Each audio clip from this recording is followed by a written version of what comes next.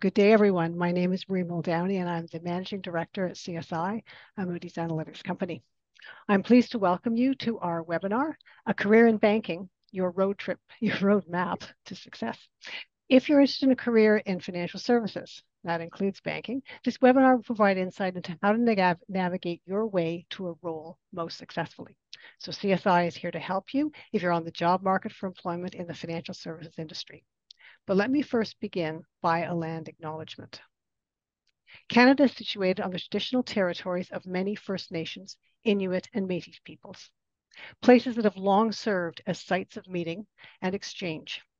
We recognize and respect the traditional custodians of the lands on which and the waters around which we meet today. So before we begin, just a few items. Today's webinar is being recorded any ratings, financial reporting analysis, projections, or other observations constituting any part of the information conveyed here are and must be construed solely as statements of opinion and not statements of fact or recommendations to purchase, sell, or hold any securities. We ask that no one record this webinar without Moody's written permission. And lastly, no one has permission to quote any of the questions or any of the comments made by the panelists or the webinar audience. Additionally, the views and opinions expressed or referred to by the speakers are solely those of the speakers and not the views, opinions, policies, or positions of the Canadian Securities Institute or Moody's or of the employees uh, of the employers of the speakers. All members of the audience are currently on mute. If you have a question, please type it in the Q&A box and we'll try and get to as many questions as we can. The Q&A box is found on the lower right-hand side of your screen. So let me start by introducing your moderator. So Assunta Totino will be moderating the panel today. Assunta is an Associate Director of Business Development here at CSI and works in corporate relations with several of our key corporate clients. She has occupied several roles in the financial services industry, and in particular, she has been a branch manager. So Assunta would be the first to tell you that reaching branch manager status is an important milestone combining presentation skills, relationship skills, business acumen, HR management, marketing, and communications. It requires deft management of employees, customers, and suppliers. And she's welcomed many employees into roles into the financial services sector. So without further ado, I'm going to turn this um, panel over to Assunta and she will introduce the panelists. Thank you, Marie, and thank you everyone for attending. I also would like to introduce Ryan Laverty, who's Professor of School of Accounting at Financial Services at Seneca College, and Risha Chowdhury, Manager of Early Talent Program at the Royal Bank of Canada. Thank you very much for joining our panelists today. So today's agenda is cut up in four, four sessions. First, we'll start with understanding the roles and career pathways in banking. Then we'll move over to creating a robust professional foundation. And then we'll have meeting the requirements of financial institutions. And then the last part will be the Q&A. So have those questions ready for us. Next slide. So you're probably asking here, but what, what we would like to accomplish in this webinar is that you become familiar with the word of, world of banking and what opportunities await you. This is our goal today. Next slide. Getting started. So here we have the Canadian Securities course licensing is key. But it's not the only thing that's required in today's market when working for financial service industries. We have to look at communication skills, networking, and customer customer facing job experience. When you're looking at communication skills, you're probably saying, well, what does that mean? So that means how do we communicate with customers? The listening skills that are required. Networking. You're looking at your LinkedIn profile. What support do you have around you? And then you have those customer facing job experiences. So just think of what you're doing right now as a job experience. You're working at a Tim Hortons, a McDonald's, or customer facing. So you know that those jobs are keys when you're dealing with customer service. And they're not quite easy sometimes, but the, the experience you gain is what the financial institutions look like. So in Canadian securities courses, license the key, it's your ticket to get in, but those soft skills is what seals the deal. Next slide, please. Now you're probably wondering, how do I get started in this? It's financial services is a little complex. There's a lot of departments, there's many lines of businesses. What we're used to is the, the retail branch here, which is the first section of the environment. Those are when you walk into a branch, you'll probably see the financial service representatives, financial advisors, bank, bank managers. But you say, what, so what skills are required for these roles?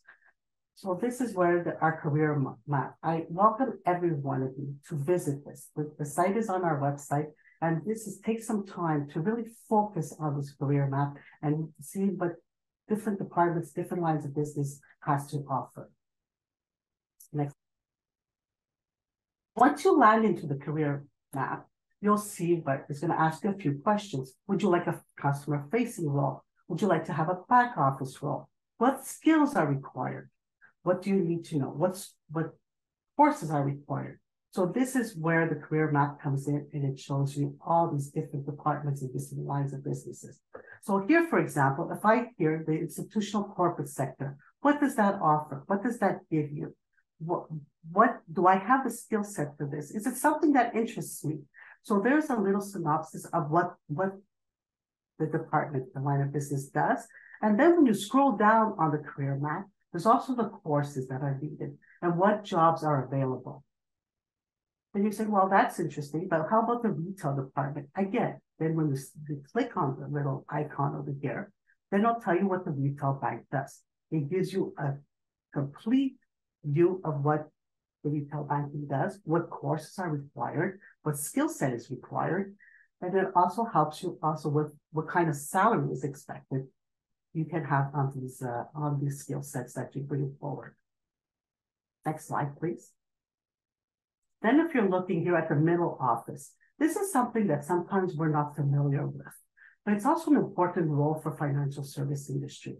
This is where the compliance comes. So if you're a person who likes compliance, likes IT, likes marketing, this is probably a department that you know will be well suited for you. Again, when you click on the icon, it will tell you what courses are available, what experiences is required, and what attributes you can bring to that. So this is for the middle office.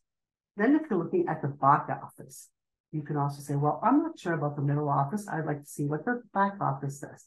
This is the department when you walk into a branch and you have those, you deposit check, where those, those clearing items go. They help, you know, this is where this department takes care of all that transactional stuff that we see that every day during the banking. So my, my recommendation for you right now is that you spend 80% of your time knowing what field you want to go into, what line of business you want to go. Get familiar with the banking industry. And the, the way to do it is to visit our career map.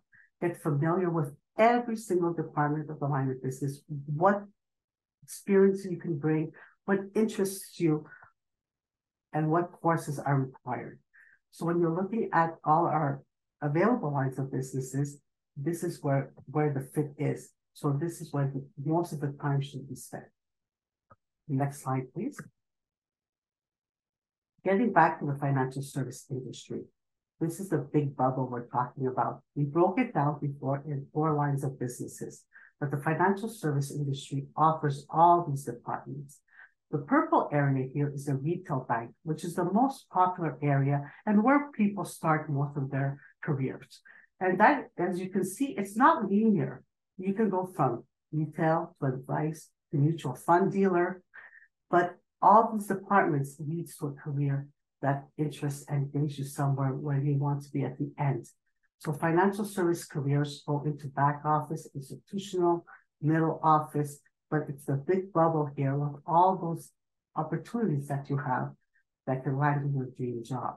But the most important thing, and I can't stress enough, is spending most of the time of finding out where's the best fit for you, what courses are required, what skills can I have, what's, what transferable skills can I bring forward, and this is where is the best way to start a new career.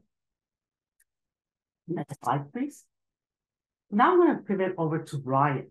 Ryan, can you tell us how can graduates pursue and make the most of their opportunities in the dynamic banking industry? Ryan? Thanks, Jacinta. So I'd like to thank uh, the CSI first for inviting me to this webinar. I'd also like to thank all of you viewers for tuning in, uh, or if you're watching this on a recording, I appreciate it as well.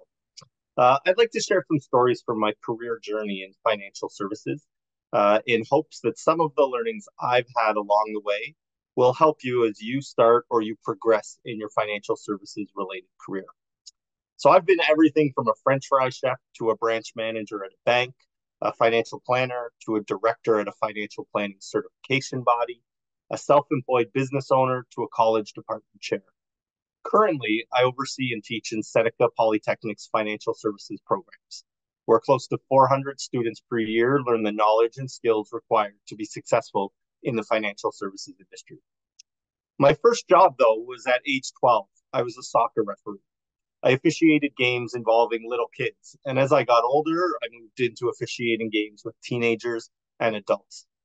Refereeing taught me that the, or excuse me, refereeing taught me the importance of not only having the technical or hard skills in the field that you're working, but just as important, having those soft skills that Assunta had referred to when she was speaking.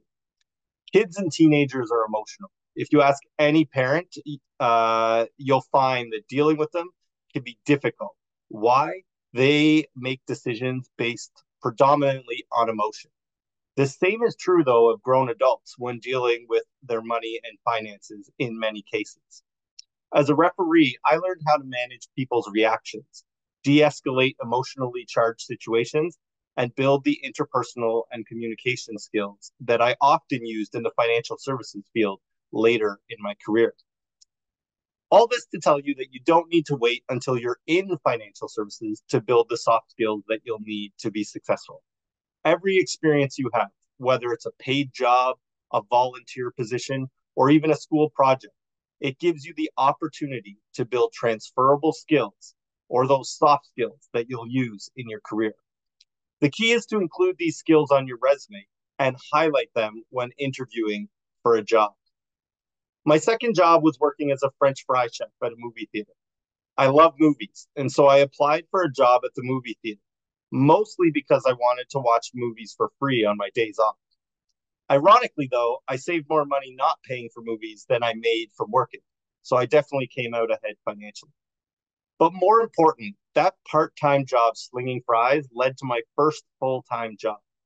One night, I was serving fries to a mother and her young daughter. While I was preparing their order, I talked with them about the movie they were going to see, what their favorite movies were, what plans they had for their summer, things like that. I did my best to ensure that their wait time for their food was enjoyable and it didn't seem quite so long. I would end up doing these same type of things uh, when there was a long line in the bank branches that I managed. This actually helped the teams that I managed win the top customer service award for the entire country. But back to my French fry days. I found out that the daughter loved fries, and it was her favorite part of going to the movies with her mom. I asked her if she had ever had a French fry volcano. She said she hadn't, and so I proceeded to create one by adding even more fries to her tray while making explosive volcano sounds and adding cheese and gravy into the top of it until it overflowed. This delighted her, and she walked away exclaiming to her mother how cool her fry volcano was. While my actions were a little thing that I could do to make the daughter's experience memorable, it had a profound impact on my career. Her mother returned after the movie and offered me a job working as a customer service representative at a welding company that she helped manage. I went from working part time at minimum wage to working full time and more than doubling my earnings. The mother shared with me that my ability to build relationships with customers and focus on delighting those customers were two of her company's values, and that what I had done for her daughter demonstrated to her the attitude that would do well in her organization. That job on the customer service desk ended up helping me land my first job in financial services with relationship building skills and customer experience or customer service experience that included learning new products and being able to recommend potential solutions to customers, I was able to secure a role as a financial services representative at a bank. It wasn't easy to get that role though. I had graduated with a commerce degree and had been calling and visiting bank branches to find a job. This was, of course, before the internet really came into play and you could apply online. I finally found a branch that said they were hiring bank tellers and to come in for an interview. I didn't get the job, but I soon learned how important getting licensed or certified is. I was disappointed uh, to not get the job that I had interviewed for, since I was just trying to get my foot in the door and start my full time career after graduating. I decided instead to go back to school to pursue my financial planning designations and complete the Canadian Securities course. While waiting to get my acceptance for college, I met with the bank's human resources team. They had called me up and asked me to come in for another interview. They offered me a full time role as a financial service representative and said that the branch manager who I met with previously had actually recommended me for a higher role based on my interpersonal and communication skills. There was only one problem. The day they offered me that position was the day I had to submit my intent to attend school full time. I had to make a choice. So I did some thinking and I asked the human resources manager at the bank if she could make the role part time for me instead of full time. I knew there was a risk in doing this, but I thought I if she could make it part time so that I could pursue my designations, it might work out. She was able to do that and said that the fact that I was pursuing my certifications, particularly my CSC, made me an even more attractive hire since my plan showed her that I was serious about making this a career and not just a job. Looking back on this early part of my career, I can see how important those interpersonal skills and getting certified were to getting my start in the financial services industry. As I worked at the bank, I worked my way up from financial services representative to financial advisor, then to assistant branch manager, and finally branch manager. I attribute my success in moving up in the bank to three things. First of all, engaging in continuing education. Second, having an entrepreneurial approach to business. And third, networking and um, maintaining positive relationships. And so, if we can move on to the next slide, that would be great. When working at the bank, I was always interested in learning more, whether it be taking internal courses that the bank offered to help me build my skills, shadowing others to learn how they achieved success themselves, learning about new products, services, and processes, or taking additional external courses to pursue certifications like the CSI's PFP, CIM, CIWM, and FCI, FCSI, excuse me, designations. These all helped propel me to the top of the resume pile when I applied for promotions. Uh, while working at the bank, I would always look for opportunities to help clients. And I had a manager who always told me that you are the CEO of the business that happens inside the four walls of your office. And if you can move to the next slide, I think there's a great quote that uh, really showcases this. You really need to plan and execute on your own strategy for achieving success. This is true whether you're applying for a job or whether you're in a job and trying to be successful. And so while I was at the bank, I would plan out my approach, breaking down how many clients I would need to see or call per day. I would track my progress, I'd make adjustments when needed. And this entrepreneurial approach really served me well as an advisor in the branch. Then, when I managed the branch, it also helped me because I was now doing it for my entire team. And then, when I became a financial planner and was looking for my own clients, I also uh, came back to this entrepreneurial approach or these business acumen skills. Regardless of the position, though, I always had a goal to meet. And so the business acumen skills that I developed around entrepreneurship really helped me achieve success. Many people view the entrepreneurial approach as one that's solely sales focused. And so they often focus on only uh, whether helping a client will result in a sale that day or not. This isn't the case, though. The entrepreneurial approach is about building relationships and identifying opportunities to help people solve their issues. Sometimes they know what those issues are, they come to you and they ask for help. And often they don't even know that they have these issues. Often you will find them for them and help them solve. For clients who walked into a branch uh, to get help, whether it be they lost their bank card uh, or whether they needed a printout of a statement, I would help them.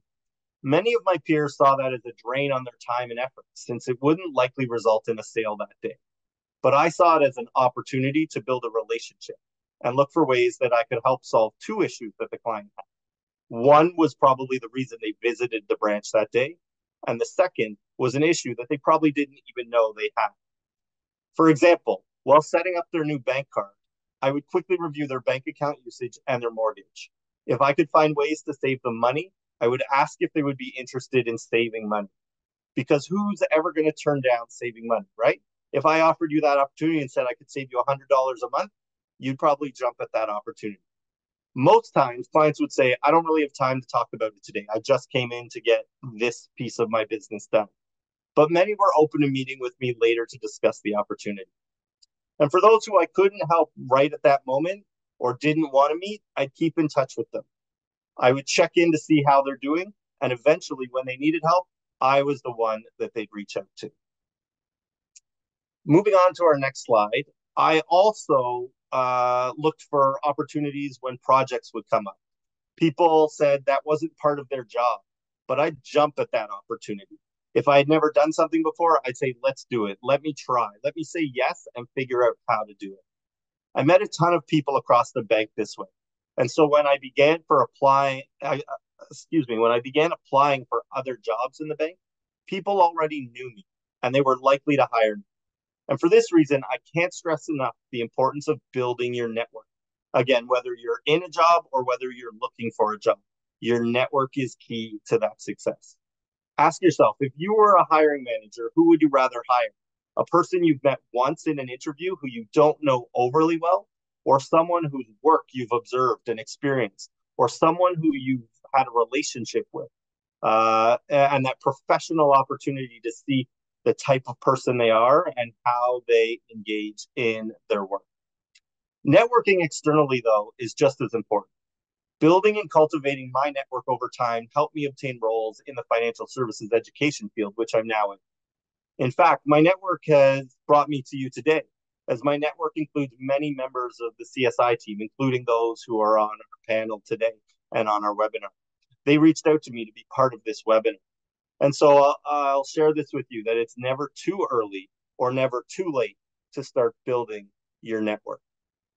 And so, one last thing I'd like you to um, consider, and this is my last slide that I have for you, is that I'd like to leave you with how important it is to find um, an institution or an organization that has a corporate culture uh, that aligns with your own. You're going to spend a third of your day working. So make sure that you're working somewhere that you enjoy. I left one bank once upon a time to go to another institution. And I quickly found that the corporate culture at the new institution didn't really work well for me. It didn't align with my personal values. And so the work I was doing, while it was uh, fruitful and while it was okay, and I felt I was helping people, uh, there were a lot of things that just didn't gel with my personal values. And so I decided the, to leave that institution it became that going to work each day became a mundane task rather than an exciting adventure that I was looking forward to. And so, one of the things uh, that I started with was around relationship building. I'll come back to to finish up my uh, my words here. I was really happy that when I left my previous institution, I maintained the relationships I had with people there.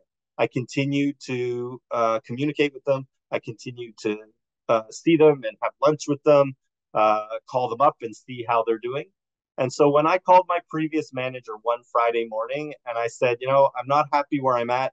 I'd like to come back and work uh, work with you and work at the branch I was at. He said no problem, and he had me start the next Monday.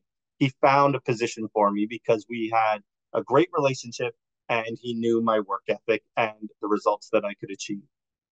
So as you can tell from what I've shared with you today about my journey in the financial services field, I'm a big believer in cultivating your soft skills, things like communicating, relationship building, engaging in that continuous learning that you can do both off and on the job, and of course, networking. And so, if anyone's looking for help in pursuing their certifications or building the skills required to succeed in the financial services field, please look into the post secondary education institutions near you. They're there to help get you career ready, both with the hard and the soft skills that you need to succeed. I want to thank CSI and again uh, to you, the viewers, for this opportunity. I'll pass things back to Assunta for the next part of our webinar. Thanks a lot. You, Ryan. And you know, the key takeaways that we have from here, what Ryan's saying, is those communication skills, those networking skills, you know, the technical courses, the licensing courses. I know a lot of you on the webinars are probably saying, well, how do I get started? How do I get, you know, get those networking skills? How do I meet meet the right people for the job opportunities? So this is where the important parts so we talked about earlier, where the lion's share of the work, 80% of the work has to be doing what position in a financial institution interests me? What position did I do in the past? What transferable skills can I bring forward? Once you have all that information and through our career roadmap and what Ryan's was saying is that you can find the position that most meets your needs. And through that position, then you'll start with the networking. Who can I contact? Where can I get this information? On LinkedIn, who can I reach out to that could mentor me, that could follow me? You know, just ask those questions. How do I get started? This is where it's very important to be prepared you know, financial institution has a lot of positions available, lots of lines of businesses. And sometimes when we reach out to the people in the financial institutions, they're probably a little bit busy, but just don't give up. You know, the networking with within bankers is very huge. There is a lot of help out there and just know where what positions that interest you and how to get there. I want to move over to our next panelist. And this is a great person to ask is what are financial institutions looking for potential candidates? So Raja, maybe you can help us with that. And what are some of the ways new graduates can hone on their skills in order to fill a job requirement? This is the big questions today, and hopefully you can give us some insight. Raja? Yes, 100% Jacinta. Thank you so much for uh, passing it over to me. I'm happy to be here today and talk about some, um, you know, things that financial institutions are looking for in potential candidates. Now, I know that, you know, in today's market, everyone is focusing on hard skills, but I think it's becoming apparent that nowadays soft skills are becoming very, very essential when it comes to being effective in your job and just standing out as a candidate or whoever, you know, you're working for. Um, regardless of what uh, company you're in. So here's some top soft skills that I think are really, really essential that will make you successful in any role that you're in um, and will help you stand out when applying to new roles as well. So, the first one I would say is definitely communication skills. Communication skills are so important because, regardless of what job you're in, you are going to be communicating day in and day out with so many people, whether it's verbally or in a written way. Um, you know, whether, of course, definitely for client interacting roles, client facing roles, and even when it comes to emailing people within the organization, whatever it might be, you're going to be communicating constantly. So, with that said, it's definitely so important to make sure you have good communication skills, whether you have to effectively communicate your ideas, whether you have to take complex financial concepts technical concepts and convey them in a simplified way to customers, clients, team members, whatever it might be. Um, so with that said, personally for me, whenever I'm looking for candidates, um, students who are entering a role, new grads, I definitely look at communication skills just because it makes such a good impact and it's such a good um, skill to have, regardless of the role that you're going to be in. The second one is teamwork and collaboration. This is also really important just because nowadays we're living in a world where AI kind of has, you know, automated a lot of those mundane tasks.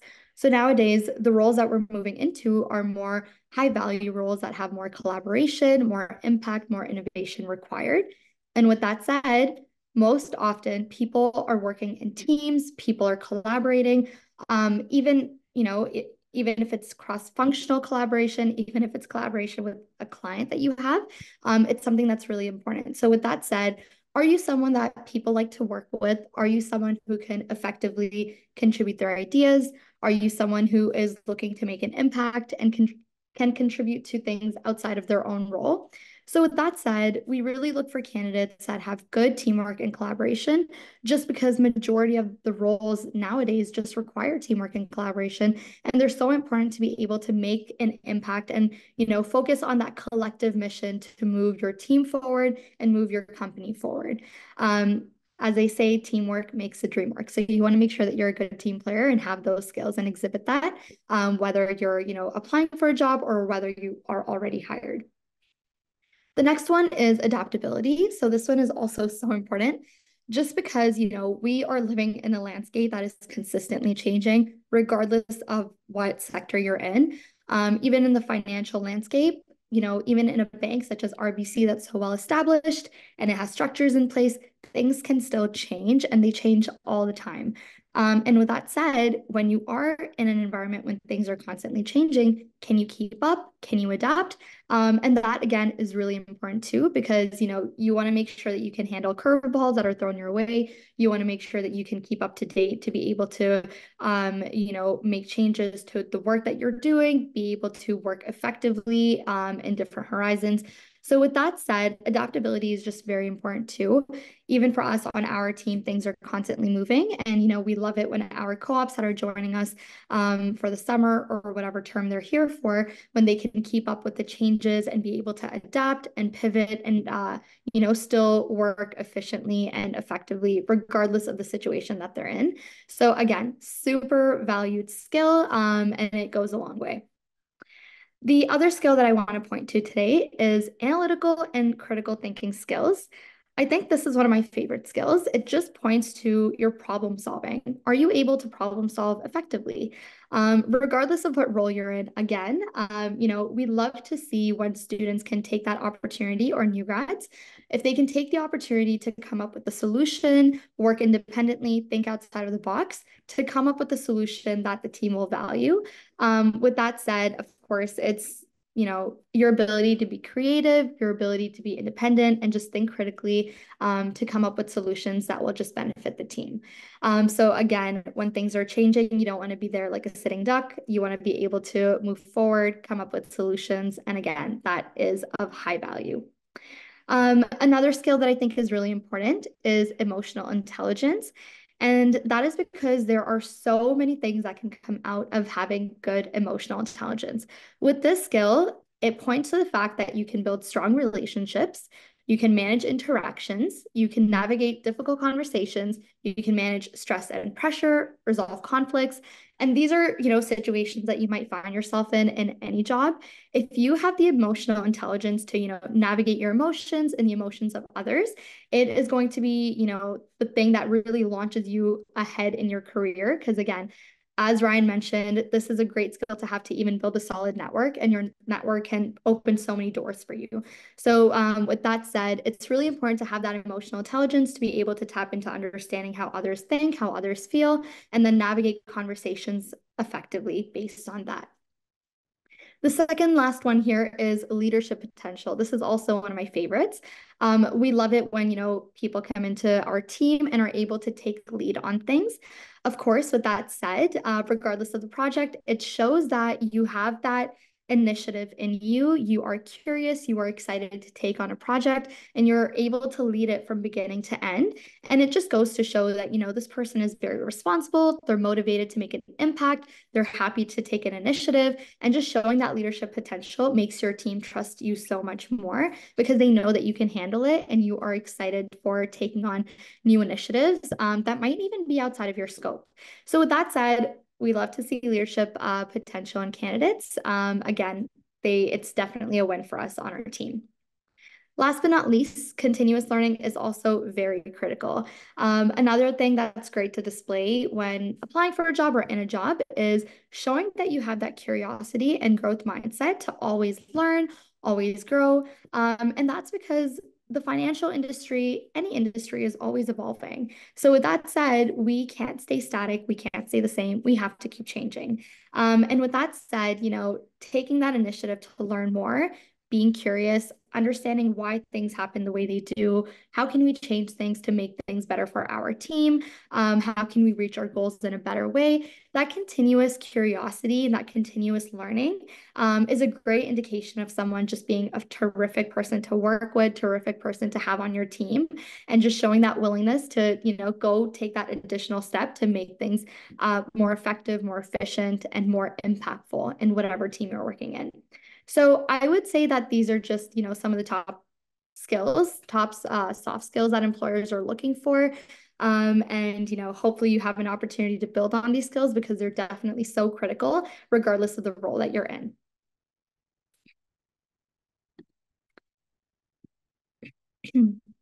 And I'm happy to move on to the next slide as well to talk about some great ways that new graduates can hone in on their soft skills to uh, perform effectively in their roles. Perfect.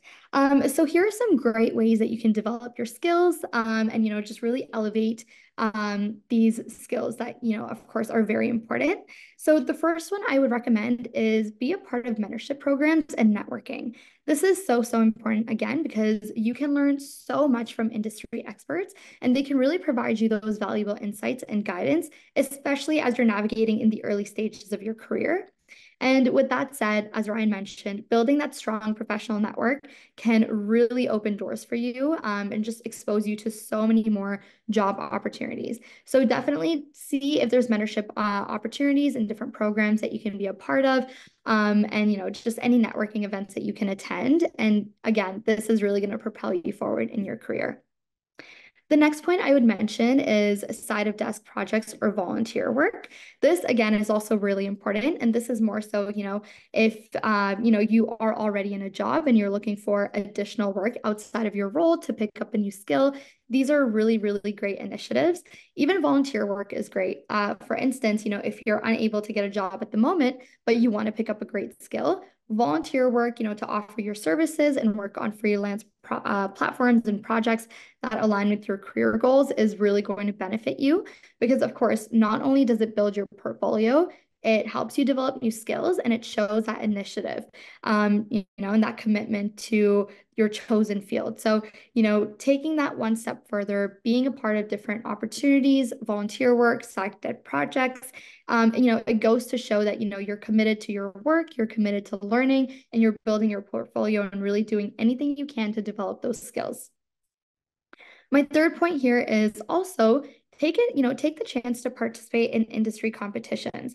There's so many competitions that take place, um, you know, whether it's hackathons, whether it's being a part of DECA and being part of those financial competitions, business competitions, things like that these are such great um, events and initiatives to be a part of because of course not only do they provide you that practical experience but you also get to build your skills and showcase it to potential employers that are attending these events as well so with that said participating in these competitions can provide so many benefits you get to meet so many more people that are in a similar boat as you and that can again really help you get insights to develop on those skills and again op- you know open opportunities to even showcase those skills uh, to potential people that you can, you know, that you might want to work with in the future.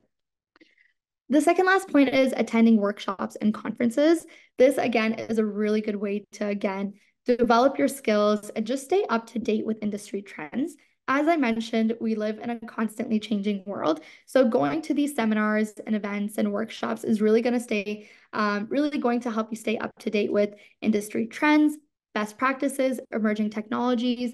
Um, and again, this is really going to help you stay, you know, um, up to date with the field that you're interested in and really help you with, um, you know, having that knowledge that is going to help you stand out because you're constantly up to date.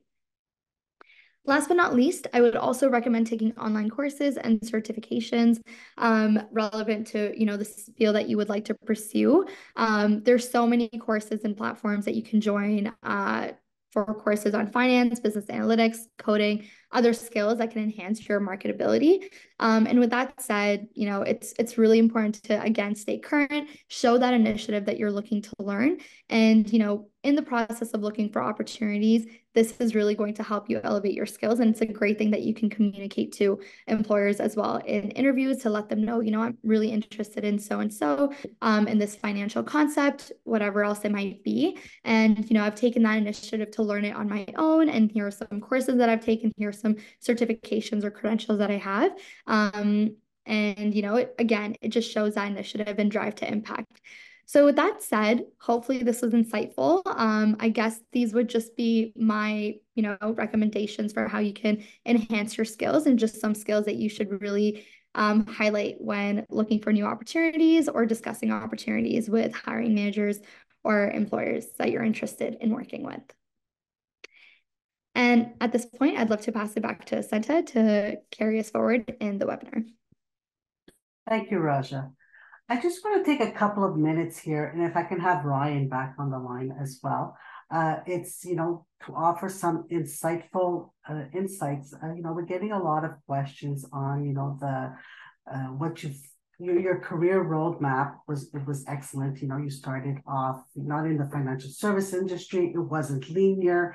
Uh, those past experiences that brought you there, uh, working, you know, like you said, in, in you know, selling French fries, giving that extra French fries, having that networking, but all those skills and all the everyday things that we do does prepare you for customer service roles. Does prepare you in the world of banking and all those communications and all that stuff that you bring forward is actually, can you just go and, and help our viewers today, uh, you know, see the benefit of having all the, you know, bringing all the skills that they have with them forward and not being afraid actually, right? So it's, it's, it's very difficult to stand up amongst the peers but you know, how do we stand out amongst the peers is the real question here.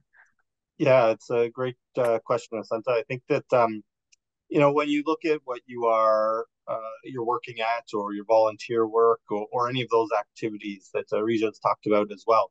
You know, whatever activity you're in, you know, take a step back and say, you know, if I had to write one sentence about this um, to explain to people, you know, the the skill set that I've got from it, um, or that I've worked on, or things like that.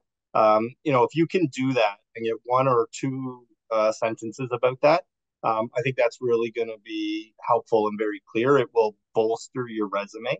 Um, and so, you know, we chat a lot about um, uh, preparing our students. And, when I was in industry, I looked for the same things.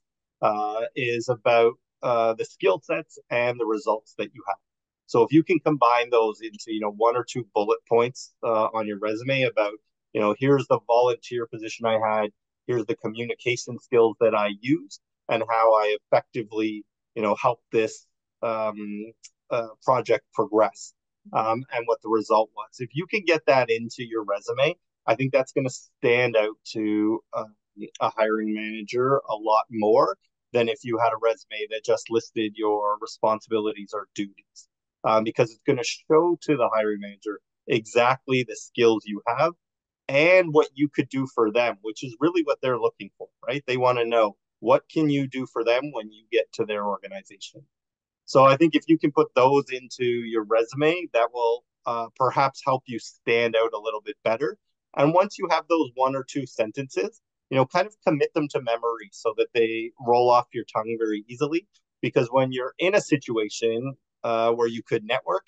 You know, it could be in an elevator and you're chatting with someone. You know, it could be at a sporting event and you meet someone. You want to be able to, you know, talk about those one or two things very quickly um, to spark their interest, and then you never know where that will go. That might lead to a, uh, an interview or a, a potential job opportunity or things like that. Rasha, I, how do people stand out? So, you know, in their resumes or how is there any other networking events that financial institutions hold that they can have? You know, sometimes they have career fairs, uh, sometimes, you know, we go. So is there something that's, you know, what can we offer our students today in being more uh, transparent in, in the financial service industry? Yes, 100%. I feel like uh, RBC is involved in so many different initiatives and there's so many different events that, you know, you can attend, um, especially when you're early on in your career. I would just really recommend looking into um, Googling different seminars that are taking place. I know this might be a bit of a vague answer. It's just that RBC is involved in so many different uh, portfolios that it can be a bit overwhelming to think of one. Um, that would be really helpful. But with that said, um, I actually got um, introduced to a lot of people in RBC by going to a diversity event called Ascend. Um, and that's where I got to meet a lot of people from different financial institutions. Um, so again, there isn't any one particular event I think that would be really helpful, but just taking that chance to Google into different events that are happening um, and seeing if you can attend network with different financial industry experts, and hopefully that helps. Santa, I hope I answered that question correctly. Please let me know if there's a second part that I missed there. And that's exactly what, you know, our viewers, you know, they're, they're looking for, right? Is where can I go meet you know, the, the, the, the higher ups, you know, the hiring managers, you know, uh, you know, LinkedIn is great, but sometimes, you know, to get a response takes a little while or, you know, so this is where, where can we meet, where can we find these networking events that we can assist, right? I know at the colleges, universities, there's a lot of mingling, Brian. Sometimes you invite partners in from uh, financial institutions. You know, if you can elaborate on that as well. I, I think our, our, our group today is looking is where can I see and where can I go, right, and meet them.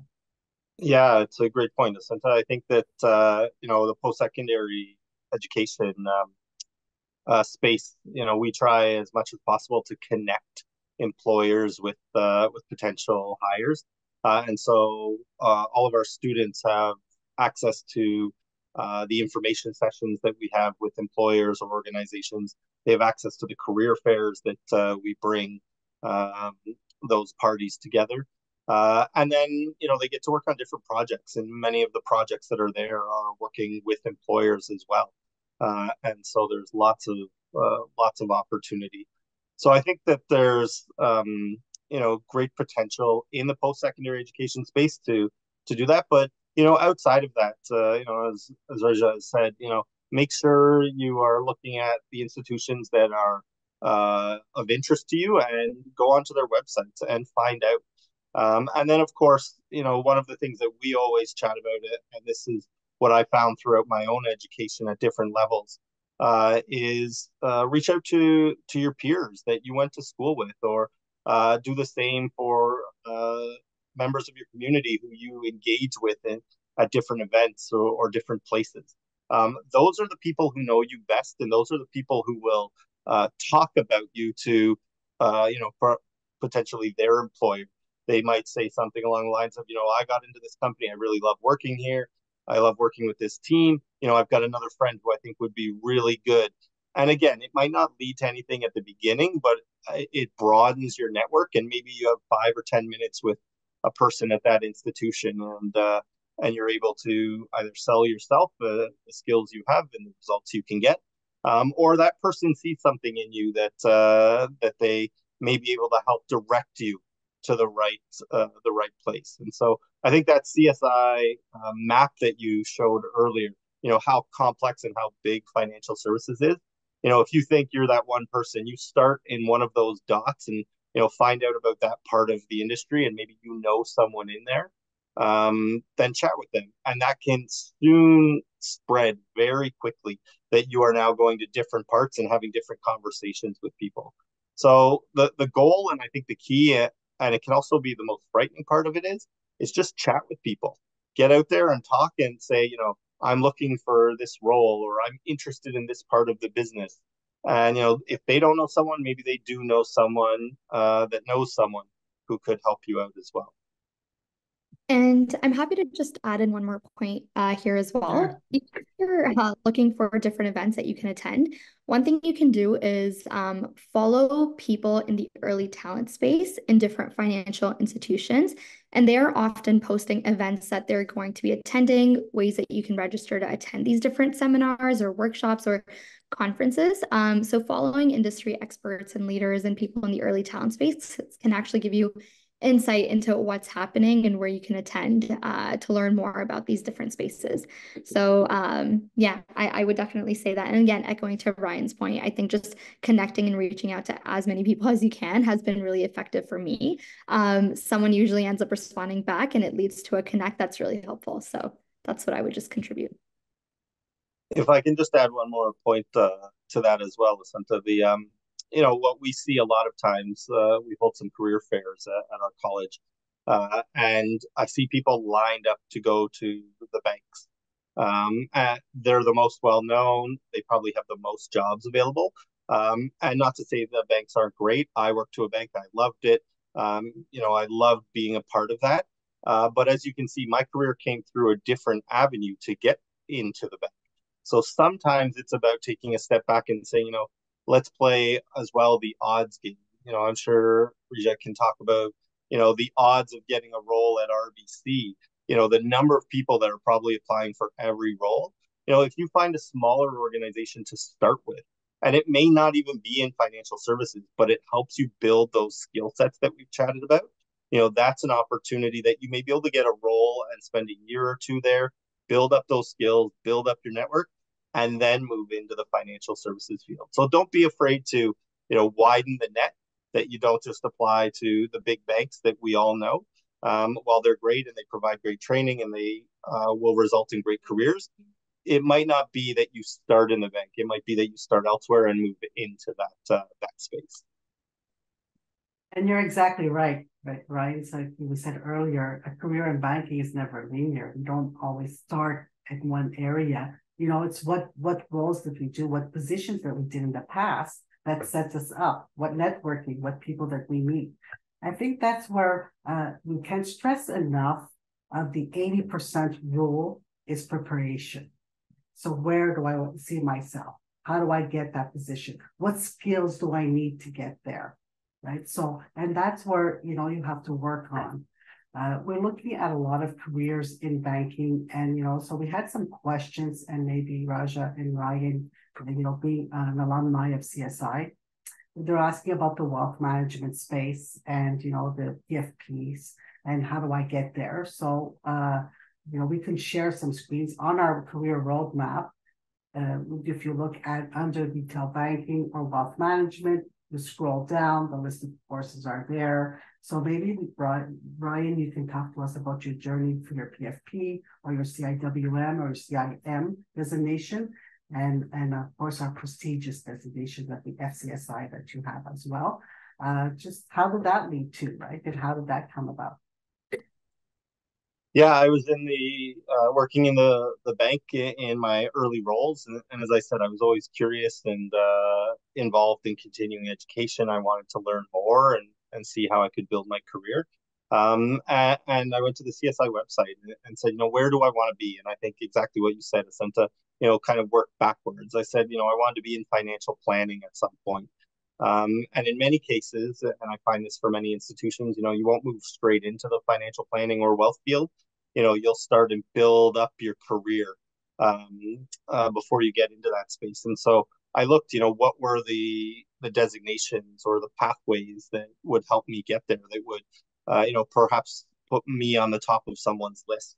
Um, and so the certification was one piece of that.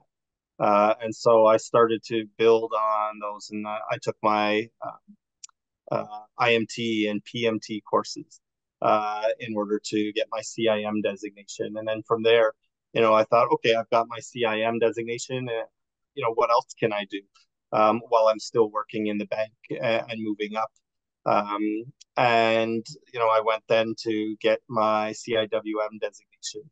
Uh, and then I continued on with uh, my FCSI designation, and it becomes, you know, a bit habit forming because you you say, yeah, uh, I've enjoyed doing these courses. I've learned. I'm using the material in my my role. Um, I'm building skill sets here. Um, all the while, if I'm chatting with others about the fact that I'm I'm taking these courses and that I'm interested in a financial planning job, uh, sometimes then it, it just takes time when those uh, um, when those opportunities become available, then you know you've got everything you need. That you look like the best uh, potential candidate that you can be in front of that hiring manager. Um, the other great thing is, you know, once you get into some of these roles or some of these designations, um, you have to continue with continuing education as part of being a professional. Uh, and so the CSI, that's one of the great things about them is they have so many um, different courses and different avenues that you can explore. Um, that you might even find some some designations or some certifications in spaces that you didn't even think you would be interested in. Um, and again, that opens up areas for you to uh, to to learn about, and then perhaps even excel in if those are places that you would like to be at. Thank you, Ryan. And that ties in with Raja, what you were saying earlier about that continuous learning, right? So, you know, if anybody has worked in financial institution, it's always that continuous learning. So I'm going to leave with this one last question. It's great when we're in, we got hired. So we have all these, you know, positions that we can go in. So we have one question for you, Raja, is can you share any insights on how new graduates can best position themselves for success in an entry level role. considering their limited professional experience. Now, Yes, 100%. And I think the advice we most often give to our new grads is network, network, network. Um, most often everyone wants to work with someone they like. That's just the fact of the matter. And i think that building that mm-hmm. network is just so critical especially when you have your foot in the door. Take advantage of it. When you're not in the organization it's hard to know what is the best way to reach this person. How can i you know make an impact? How can i get connected? Things like that. But when you're already in the company it just becomes so much more easier to get connected and people are so much more open to networking with you and sharing their insights and things like that. Um, so what i would really recommend is um, you know network and also find a mentor. Um, find someone who's going to sponsor you champion you in the organization give you exposure to new skills. Um, i got really lucky in that uh, in the fact that you know I had great management that really put me forward for new opportunities. They gave me exposure to side of desk opportunities as well, where I could kind of make an impact, get more exposure to other teams. So if you are new to an organization, you are curly, you know, uh, early on in your career and you're looking to make an impact and explore new roles, I would say just network with as many people as you can and really take that step in showing initiative. You know, do things that are perhaps outside of your scope show that you're willing to learn new skills. Um, I've seen this a lot with our new grads as well. When they join, they want to be involved in other projects, they want to help out other teams, and they want to make an impact to the overall collective organization, which is so great to see. So you're not siloed in your own role, keeping your head down in just one thing, but you're actually putting yourself out there um, and you know being involved in different initiatives. Um, so with that said, long story short, I would just really recommend you to take that initiative to explore new opportunities side of desk projects, help out other people within your team, show that initiative, and just really network with people and you know start thinking about what are you interested in next. Um, it's best to think two roles ahead sometimes. Um, and that's really going to help you navigate to the next move. Um, so that's just that's just what i would say for that question. Thank you so just to wrap things up, uh, we're going to just take, there's some key takeaways over here. And, and, and Ryan, I do appreciate when you said, you know, sometimes, you know, our paths are not linear and we want that, you know, big financial institution to work for one of the big six right away. Sometimes working at a smaller firm is is, is okay, right? It's, you get that experience, you get that you know get that networking, you meet people. So that's fine as well, right? It doesn't matter what experience, where you work, where, you know, what position it is, it's gain all those experiences that that can take with you. And yes, sometimes it will take time. Like it's not, it's, you know, patience is very key. But uh, eventually, you know, with everything we learned today, and hopefully you took some great things away, that uh, your positions are just uh, waiting for you. Thank you very much, Marie. Great. Well, that really concludes our event for today. I'd really like to thank uh, Rija and Ryan for giving us such great insights. It's really around getting yourself out there. And um, as a as an introvert, I would say you really have to break out of your shell. Um, just put your hand out, uh, go to your branch manager, walk into your bank and talk talk to people in the bank. Don't just do card banking, uh, you know, get get yourself known. Um, really thank you for your, for your insights. And Jacinta, thank you very much for moderating. So if you do have additional questions, please go to our website and look for our support button. If you press the support button, you'll get lots of answers to lots of questions. You can find the career map also on our website. Um, but if you don't get the answer you're looking for, please post a, a, a ticket and we will get your answer back to you as soon as possible. A replay of this event will be available in the coming days, so look out for that um, if you weren't able to attend or you missed part of it or you want to pass it on to uh, someone who didn't get a chance to attend. Finally, thank you for attending. Have a great day and good luck on your path to a career in financial services. Bye, everyone. Thank you. Bye-bye.